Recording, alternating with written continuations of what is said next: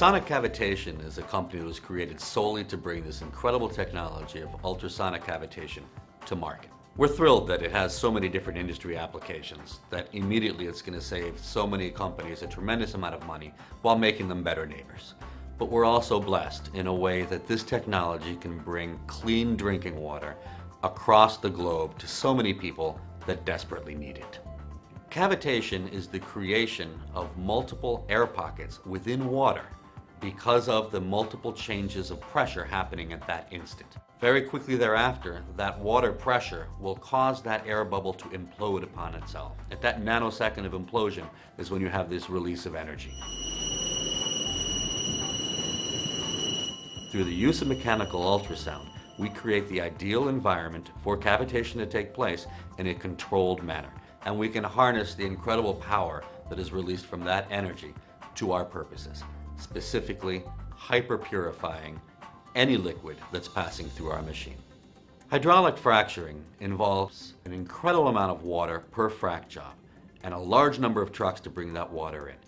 Then you have the residual water coming back, which is really nasty stuff. Right now, the entire process costs the industry on average anywhere from $1.30 in Texas to more than $11 in Pennsylvania per barrel. Sonic cavitation is profitable at 50 cents per barrel. This technology was originally used in Russia back in the early 80s to refine in a mobile capacity Western Siberian heavy crude into benzene, diesel, and jet fuel. It was invented by Dr. Viktor Glotov, who was the former director of the technology division of Russia's version of NASA. On February 12th, we proved our technology here in the United States. We did so using an extremely simple machine. Our machine really consists of two pumps, the motors to run those pumps, and then the piping to connect it all in a closed loop, as well as a holding tank for the water. With that, we took an initial entry of water of 50 degrees and we were able to raise that to just under 280 degrees, proving that we can hyper-purify water through this temperature change through the use of cavitation. Now we move into phase two. Phase two will take us approximately six months.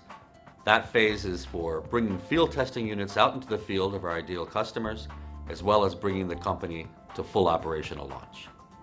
Given the industry applications that we have for this technology, especially with the oil and gas industry, we're very confident that sonic cavitation will be profitable.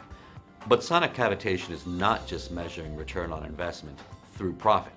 Our ability to be able to go into humanitarian uses is astronomical. The ability to be able to go into drought-stricken areas, to be able to bring water to places that have never seen it before, clean water, to be able to bring rivers back to life, bring lakes back to life, to be able to help with getting rid of diseases that are based upon bad water. That's really where the real power of this technology can go to work, and it can go to work immediately and cost effectively.